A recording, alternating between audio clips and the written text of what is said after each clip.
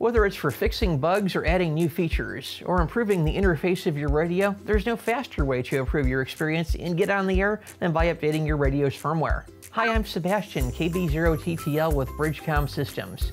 Today I'm going to share with you the quick way to update the firmware on your Xiegu G90 HF transceiver. In this video, we'll walk you through every step to successfully updating your Xiegu's firmware, as well as share a few helpful tips along the way.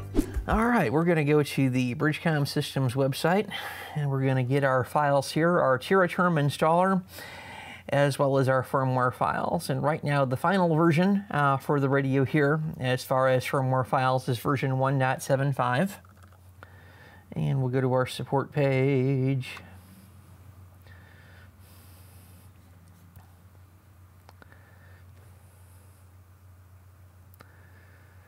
And we'll go down here to Xiegu G90 support.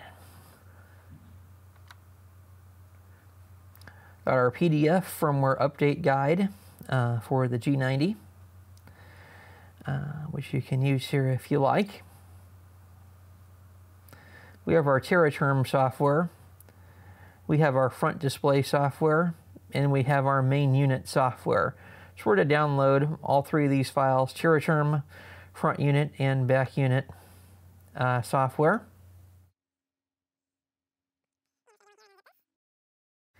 And I'm just going to go in here and unzip this.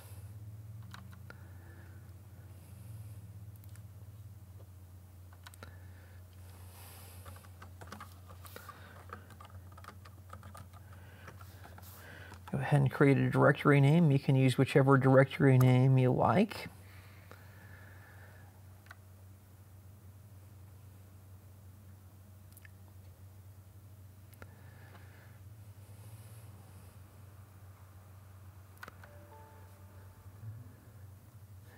These are both in my download folder here as well. Those are not zip files. They do not need to be unzipped.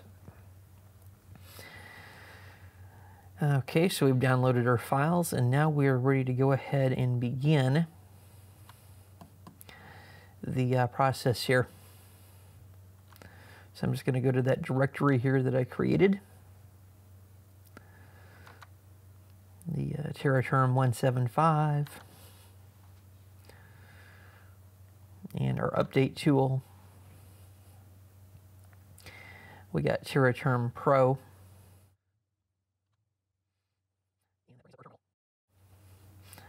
And that brings up our terminal. I'm going to go ahead and close the TeraTerm window down. I'm going to go ahead and get our um, blue connection cable, prolific cable, uh, hooked up to the PC here. And uh, Windows 7 and Windows 10 should automatically detect the prolific driver and the blue dongle on the end of this cable when it is plugged in. And I'm just going to check my COM ports right now in Device Manager to make sure that it is showing here. The COM port that your PC uses will probably be a different COM port number than what my PC uses.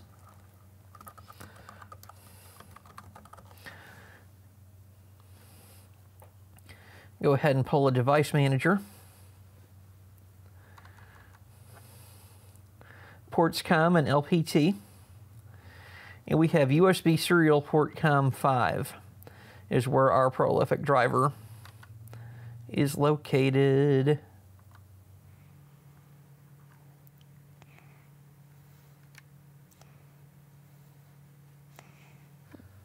And there it is.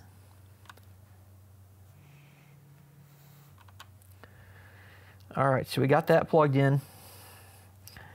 Now on the side of our radio here, I'm just going to turn the radio. We're going to plug our data connection to the bottom.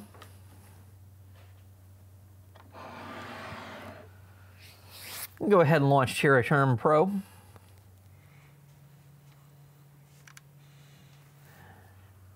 All right, now that we're in, we're going to go ahead and set up our uh, serial port.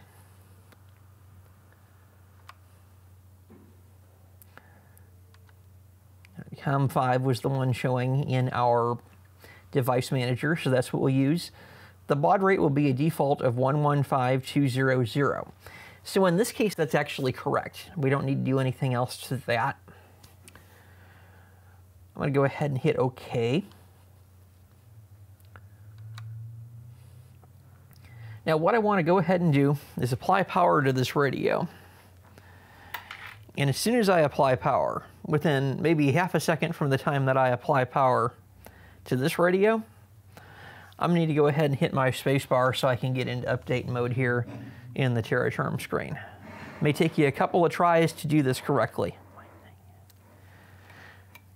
Doing this the other day, and yes, it did. It took me a couple of tries. So, takes you a couple tries. Uh, you're fine with it here. So I'm going to go ahead and proceed to power this unit on. No sooner than I power it on, I'm going to have to hit my spacebar so I can get into update mode.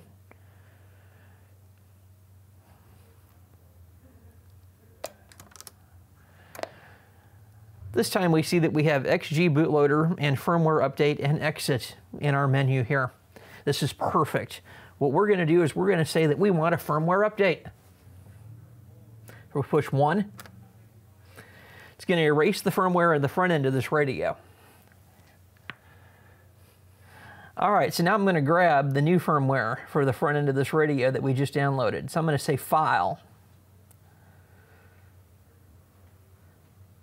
and Transfer and X Modem and Send. I'm going to click that. All right, right here in Downloads, you see the files that I downloaded. You see my TeraTerm file, um, you see my main unit and you see my display unit. So the front end is the display unit, version 1.75 final, which is the most recent. You see the date here, 21221. So we just got this here. Go ahead and click that.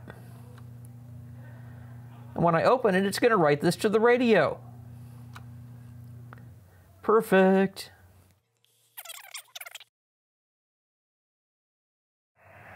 and it's come back on, which means that the front end update was successful.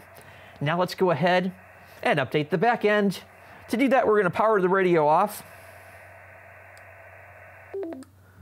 Or unplug the power. Uh, unplug my cable.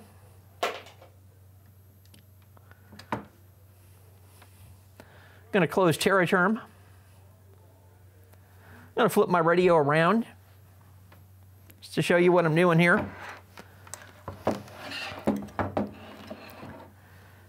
That little orange circle there is our COM port. This is to update the firmware on the back end. And yeah, I'm gonna have to turn this radio around, but you saw where to plug it. That's all you really need to see is where to plug that. Plug my power back in. All right, so I'm gonna launch my TeraTerm.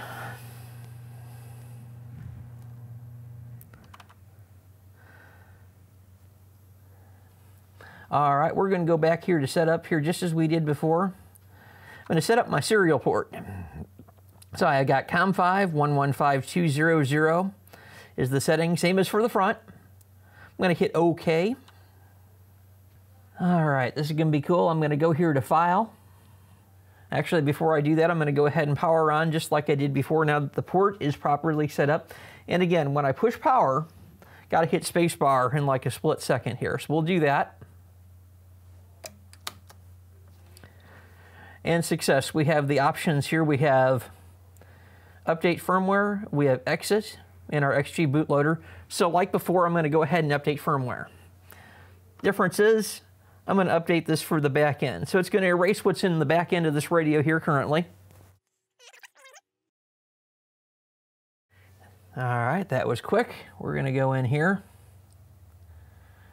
We're going to say File,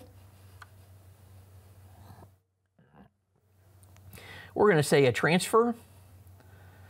We're going to say X modem here just like before. We're going to say send here just like before. Uh, we're going to go ahead and get our main unit this time. We're going to open that file.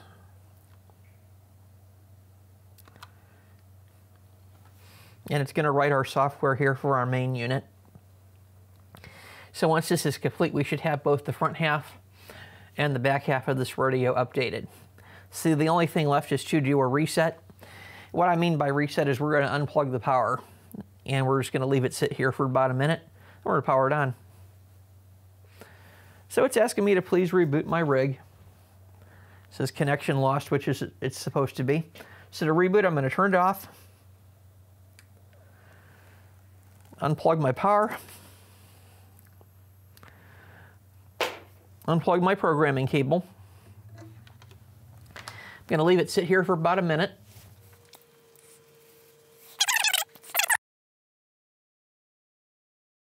All right, so now I'm going to go ahead and power this back on. I'm going to shove my computer here out of the way. I'm going to power this back on. I'm going to connect an antenna. I'm going to receive something just to show you, that, you guys that this works. So when I push this, it should be updated here the new firmware. Um, which it is, it's receiving. Got to tune up the antenna. I'm going to pull in a station here and then I'm going to show you the firmware version that we just updated this to.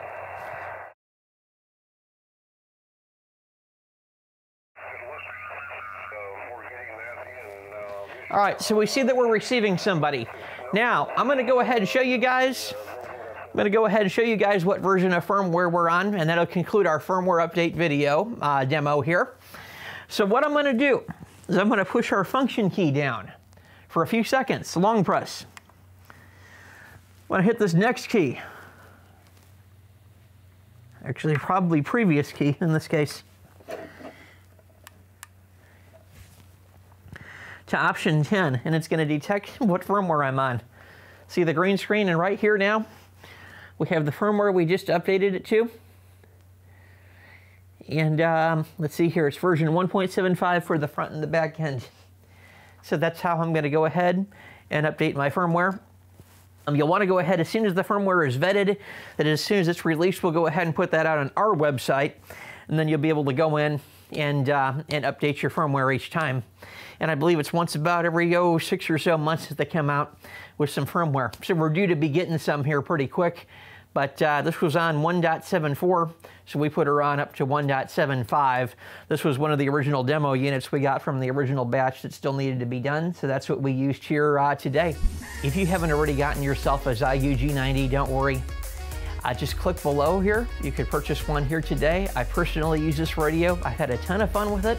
For more tips on setting up this radio, please click below to watch our quick start guide.